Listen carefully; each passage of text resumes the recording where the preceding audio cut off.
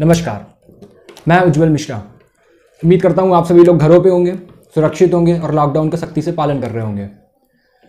कल जिस तरह से हमने देखा, पूरे दिन सोशल मीडिया पर महाराष्ट्र की घटना की चर्चा होती रही।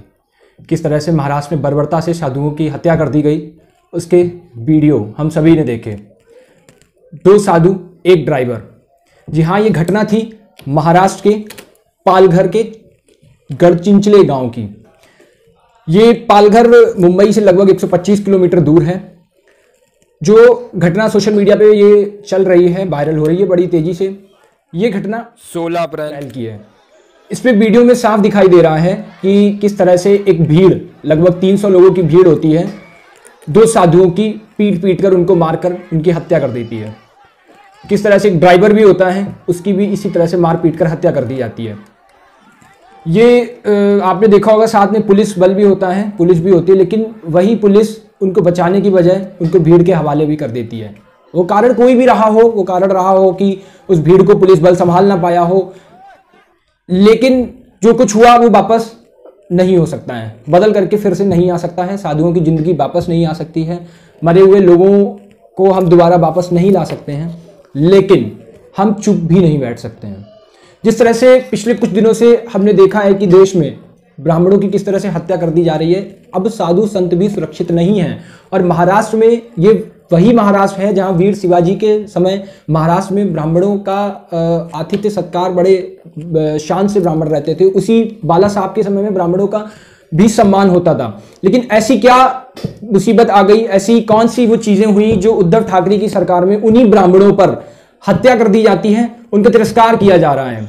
आपको बता दें, ये साधु संत जा रहे थे एक महंत के अंतिम संस्कार को। तो इन्होंने रोड का रास्ता ना चुनकर, क्योंकि लॉकडाउन की स्थिति थी, हो सकता है पुलिस बल उनको रोके तो रोड ही रास्ता ना चुन करके उन्होंने गाँव के रास्ते से जा रहे थे। जो पकड़ी हुई भीड़ है, जिसमें से कुछ लोगों को गिरफ़्तार किया गया है, पुलिस ने बताया है, उन्होंने अपने स्पष्टीकरण दिया है। उनका कहना है कि भीड़ ये बता रही है कि ये बच्चा चोरों के गिरोह के सदस्य, उनको ऐसा अंदेशा लगा, यह अफवाह चल रही थी, इसलिए उन्होंने उनको रोका, उन्होंने उनको पीटा। लेकिन एक सवाल यहाँ पे ये खड़ा होता है कि क्या उनको वो सेफ्रॉन कलर में वो भगवा गिरुआ वस्त्र पहने हुए लोग लग रहे थे? और अगर लग भी रहे थे तो इस तरह से मार पीट कर क्या उनको मौत के घाट उतार देना ठीक था?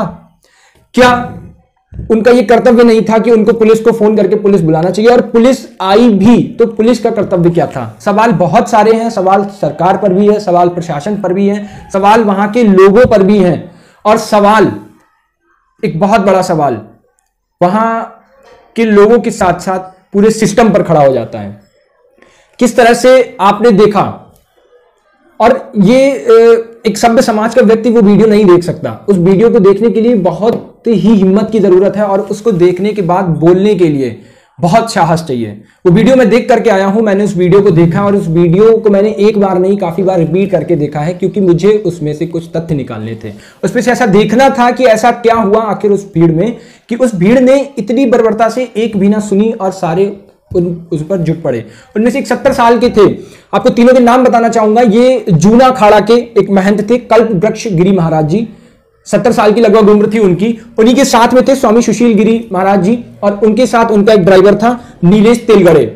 ये तीनों लोग एक गाड़ी से सवार होकर के जा रहे थे। जब भीड़ रोकती है इनको, ये गाड़ी से नीचे उतरते हैं, उसके बाद इनकी एक सुनी नहीं जाती है। भीड़ अचानक से इन पर हमलावर हो जाती है।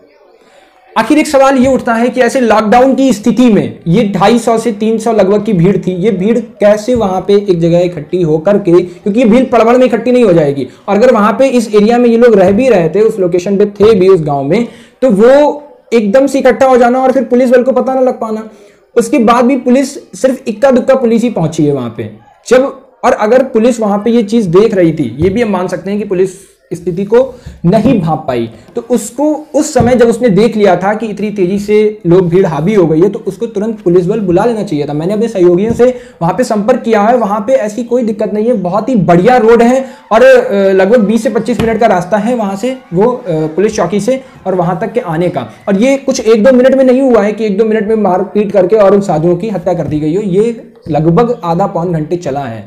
उसके बाद भी सबसे बड़ा सवाल है कि जिस पुलिस पे भरोसा, उम्मीद की आस और मदद की आस रहती है, वो साधु बार बार उस पुलिस के पीछे जा रहा था, लेकिन पुलिस वाले भी उसको उसी, जिस साहस से उसने पुलिस का, पुलिस से सहायता मांगी, उस पुलिस के बंदे ने भी उसी दुस्साहस के साथ उसको फिर वापस भीड़ के हिस्से धकेल दिया। वो गिरता है, वो पहले खुद बचने की कोशिश करता है।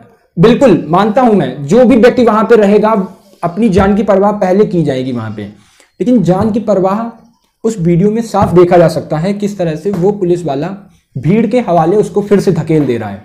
क्या ये सोची समझी साजिश थी? और साजिश नहीं भी थी। बहुत सारे लोग सोशल मीडिया पे इसको सांप्रदायिक रंग देने की कोशिश कर रहे हैं, लेकिन हमें ये समझना होगा कि हमें जब ऐसी बातें हम सोचें तो हम पहले तो दिमाग को ठंडा करके और निष्पक्ष होकर के इन बातों को करें। चीज़ों को समझने की कोशिश करें, एकदम से आताताई होकर किसी चीज़ पर हावी हो जाना, ये कहीं पे न्याय संगत नहीं है।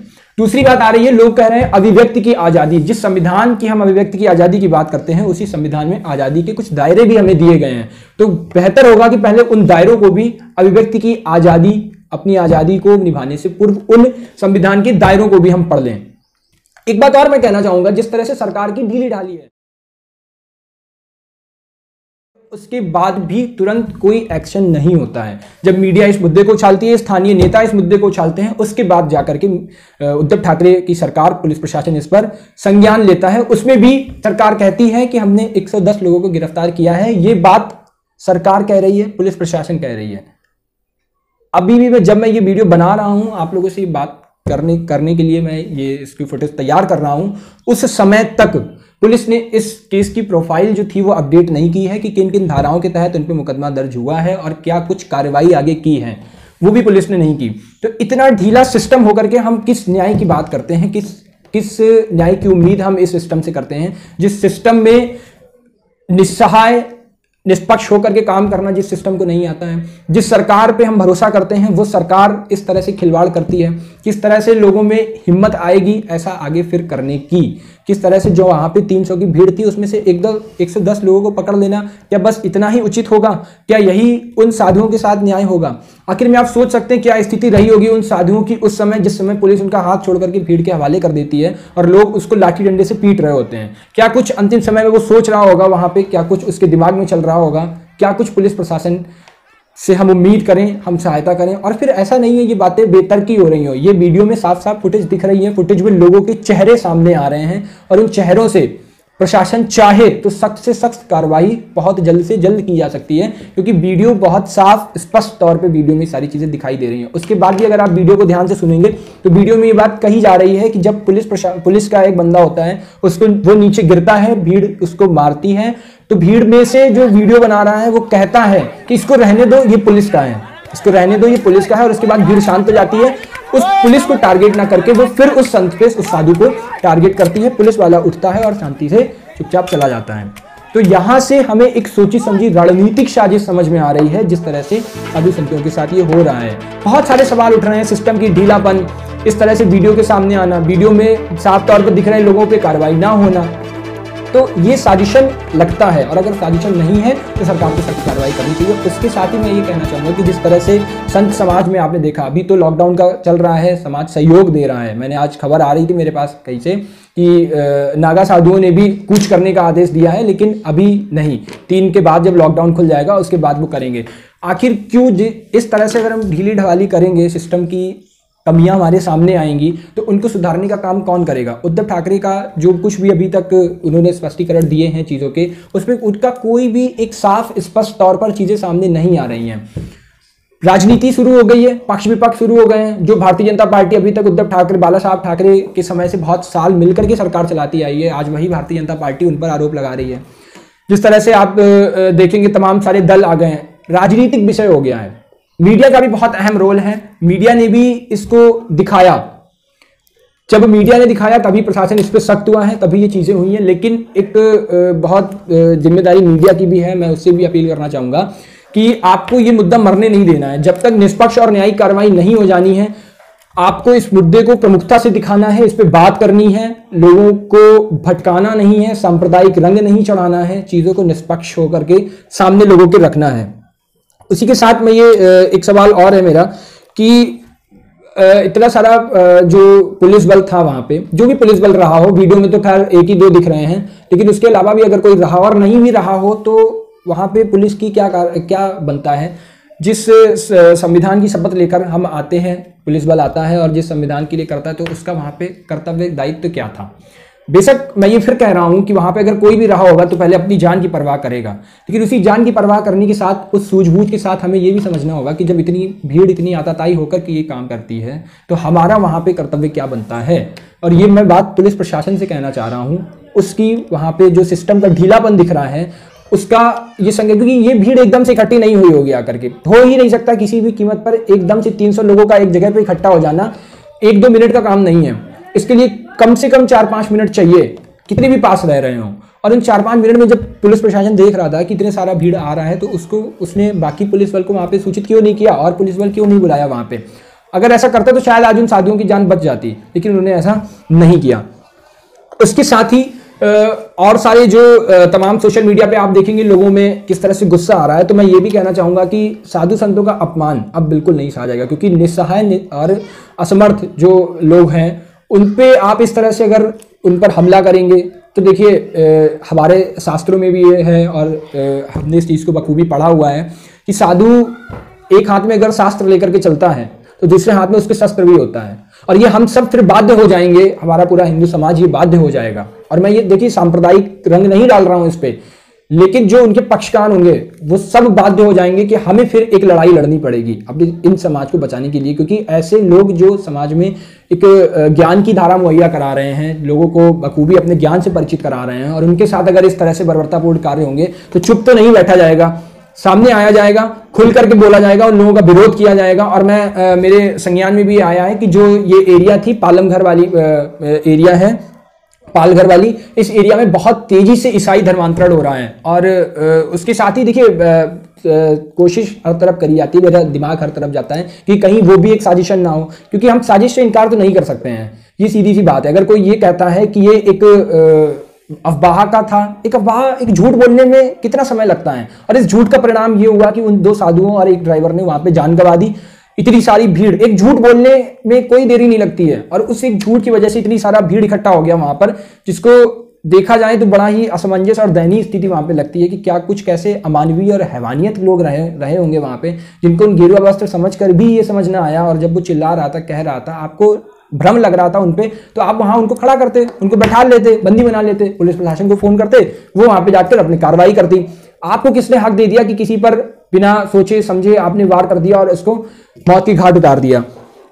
उसी के साथ ये जो लोगों में एक गुस्से का माहौल भी चल रहा है और लोगों में बहुत तेज़ी से इसके प्रति उद्धव ठाकरे की सरकार के प्रति, क्योंकि सरकार की ये ज़िम्मेदारी बनती है कि प्रशासन को सख्त करे और प्रशासन की कमियाँ हमें साफ़ तौर पर दिख गई।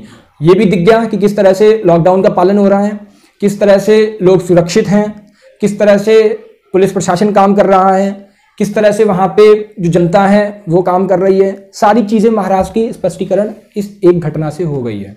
और अगर ये घटना मीडिया में प्रकाश में नहीं आता तो मुझे नहीं लगता है कि पुलिस प्रशासन इस पर कोई सख्त होकर की कार्रवाई करती और ये बात शासन स्तर पे पहुँचती। और नहीं भी पहुँचती तो कर्तव्य क्या बनता है हमारा? हमें क्या करना है? ये सारी चीज़ें हमें देखनी है। लोगों से भी मेरी ये अपील है, जो सोशल मीडिया पर सांप्रदायिक रंग देने की कोशिश कर रहे हैं, उनसे भी मेरी ये अपील है कि आपको सोचना है, स्पष्ट तौर पर साफ़, सीधी और नपी तुली बात करनी है। अगर आपके अंदर कुछ ऐसा है, क्योंकि सोशल मीडिया एक बहुत बड़ा हथियार है, बहुत बड़ी ताकत है सोशल मीडिया के अंदर तो आपको सोशल मीडिया का यूज़ बहुत अच्छे तरीके से करना है, बखूबी ढंग से करना है, लेकिन किसी की भावनाएँ आहत ना हो। लोगों से भी मेरी ये अपील है कि जिस तरह से आप सोशल मीडिया का यूज़ कर रहे हैं तो वहाँ पे बहुत ही अच्छी तरीके से उसका यूज़ करें और साफ़, स्पष्ट तौर पर अच्छी बात करें। जो सरकार का सहयोग कर सकते हैं, उसके जो चीज़ें उसके प्रकाश में नहीं आ रही हैं, वो चीज़ें बताने का काम आप बखूबी कर सकते हैं। इसी के साथ आपको अगर ऐसी कोई भी अपडेट ऐसी लगती है, जो ज़रूरी है तो हमें कमेंट करके बताइए। हम उसको आपके सामने लेकर के आएँगे। तब तक के लिए बहुत बहुत धन्यवाद। नमस्कार।